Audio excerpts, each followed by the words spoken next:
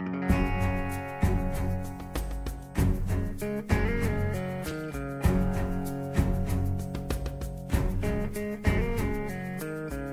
stop your crying, it will be alright. Just take my hand,